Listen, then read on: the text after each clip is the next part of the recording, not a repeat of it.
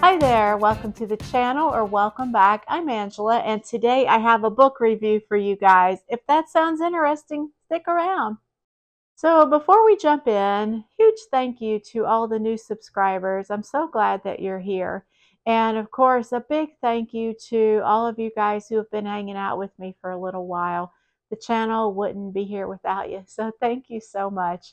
Um, today I'm going to be giving my impressions of the Palmer Pletsch Complete Guide to Fitting. And disclosure, I haven't bought this book yet. This one, you can see the library tag here.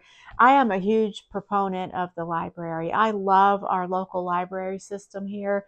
I'm always uh, checking out books, dropping them off to and from the library pretty frequently.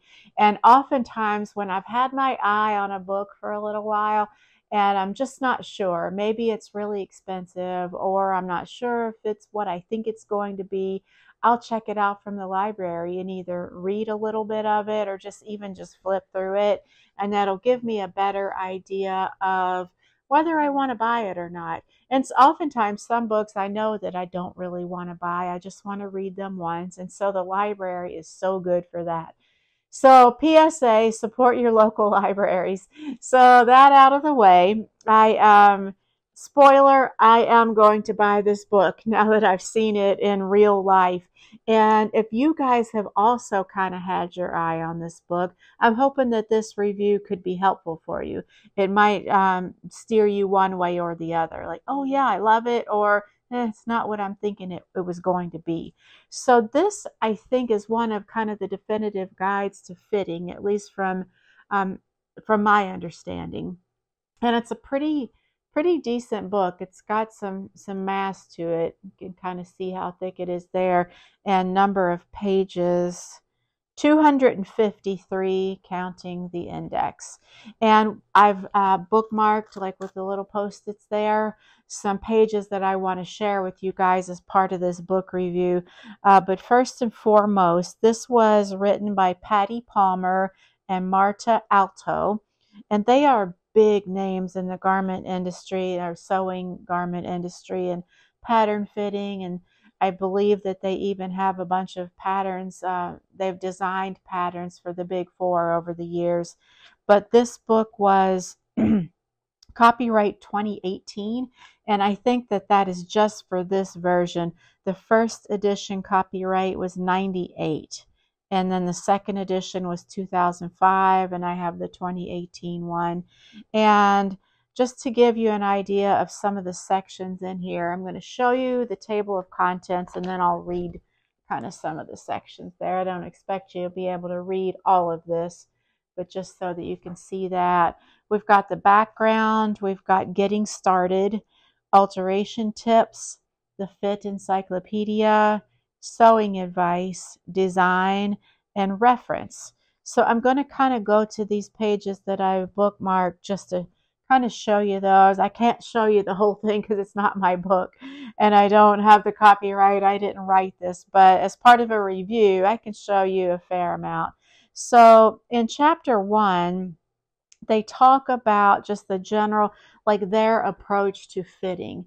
They do use the tissue fitting process and they've broken it down into four steps. Try on the unaltered tissue, alter and try on the pattern. So that's tissue after making adjustments.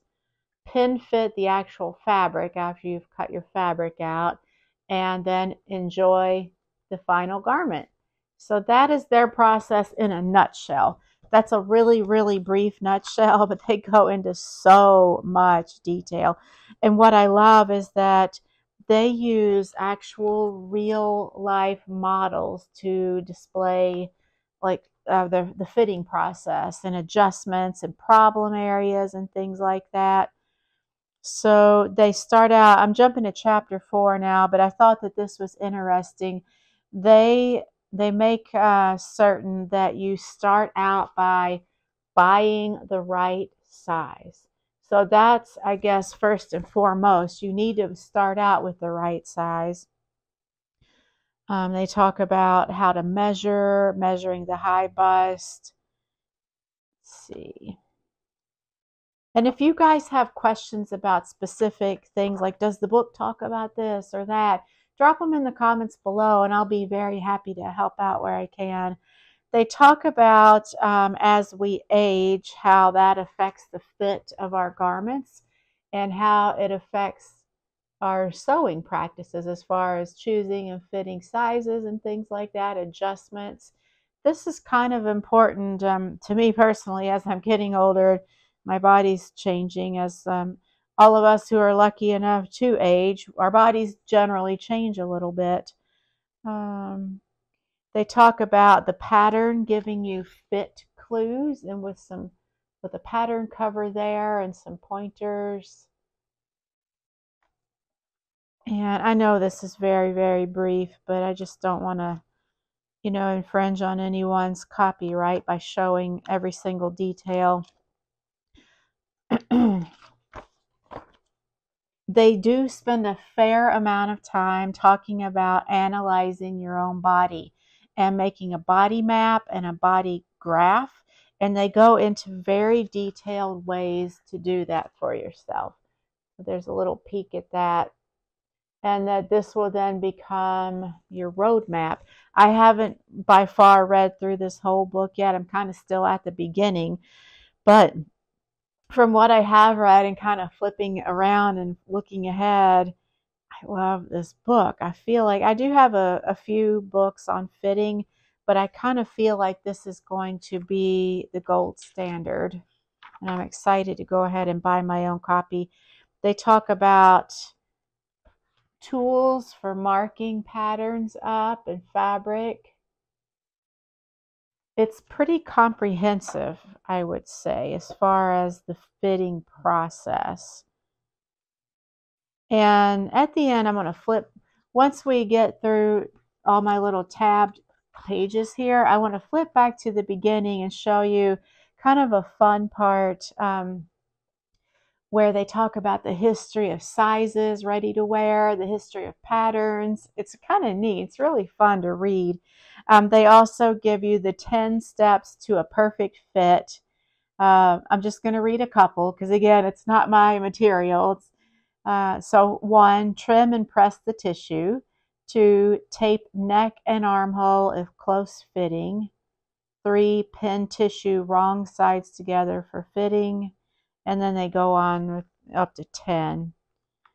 Uh, that's just like a little handy list right there for you. What I love is that they really focus on the sequence or the order in which we should do fit adjustments. And I think that that's really helpful because oftentimes, if we're kind of stuck on a garment and we know that we need more than one alteration, or making one alteration can affect everything else downstream, so to speak, and we make one little tweak and then it throws everything out of whack. So they definitely say that there is a right sequence, a correct sequence for making fit adjustments. So that was pretty helpful. And then they go into um, making a body map, fitting a sheath dress to compare you to the most fitted pattern. So that's pretty helpful. There's also a section in here about um, dress forms and using those, which is I think, really helpful. I do have another book by them. It's called Pants for Real People. And I thought that was a great book too. I got a lot of use out of it. Uh, so here they talk about the tissue fitting sequence. It's referenced earlier on in the book, but they get really into the nitty gritty of it here in this chapter. and then they have uh, detailed sections on fitting the back, the neck and the chest, darts, bust. I mean, it covers everything shoulders, sleeves, waist, hips, tummy, and thighs. I feel like this this is a great resource. And they talk about sewing techniques that affect fit, uh, such as fabric choice, uh, print placement, cutting fabric, cutting on the grain, squaring up the fabric, pinning the fabric, pinning the pattern pieces out on the fabric. I know a lot of sewists nowadays use uh, weights and rotary cutter. Talk about interfacing. And then what's this last tab? Oh yeah, so the very um, last tab that I, the page that I have bookmarked, it looks like it's the last chapter in the book, chapter 24, called the Wrinkle Dictionary. So, kind of in a nutshell, about ways you can look at a garment as you're wearing it and tell where you need some fit adjustments by the wrinkles or the pull lines or the drag lines in the fabric. So, that's very helpful. Um, let me go back to the beginning because I want to show you some of this fun stuff here. So they apparently have been designing sewing patterns for the Big Four since maybe 1970s. And here's kind of a little visual map on this page of some of their the Palmer Pletsch patterns that were made for the Big Four. So that's kind of neat. And then there's a second page of those as well, going all the way up to 2017. And let's see. They talk about in chapter two a history of pattern sizing.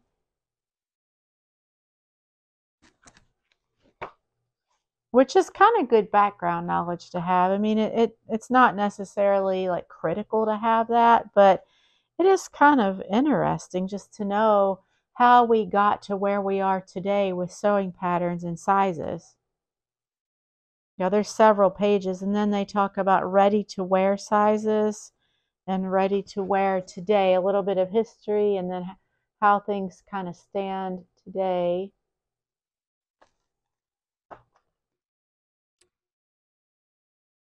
And a little bit of historical fashion silhouettes. Just kind of fun little touch there. They talk about ease, like how much uh, minimum ease and design ease uh, in each garment. And then here, um, I want to show this picture to you guys up close because when they talk about starting with the right size pattern can make all the difference. So if you choose your pattern sizing, say based on your full bust measurement, uh, it could totally um, like wreck the garment or make it not as good as it could be. And if you look at this picture down here, this illustration, that kind of illustrates it. So the first, the woman on the left is wearing a size 18, which, sorry about that, which she had chosen that size based on her full bust. When if she had chosen based on her high bust and then made like full bust adjustment, her garment, her same jacket. This next picture is in a size 10, and look how much better fitting that is. By choosing her full bust measurement, the jacket is swallowing her whole. I mean, it's so big. And here it's more fitted, it looks more stylish and just cuter in general, more tailored.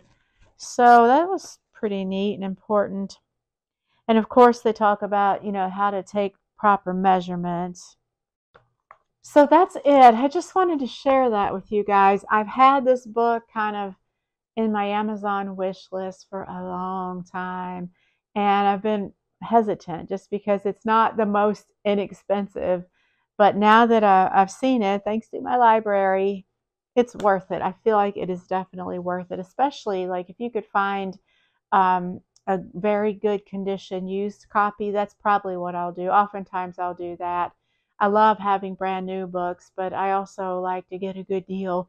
So oftentimes on Amazon, I'll choose uh, used, but then select very good condition or like new and get a great deal. So that's an option too. But I hope you guys found this helpful. Do any of you already have this book?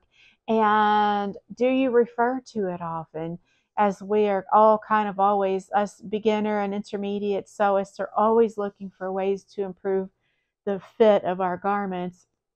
How many of you actually use this book to help with your fitting process? I would love to know. Let us know in the comments. And I hope that you have a great weekend. And I will be back next week with an update on my current project that I have in process. So I hope you'll tune back in then. Thanks so much for hanging out with me today. I so appreciate it. And I will talk to you next time. Bye.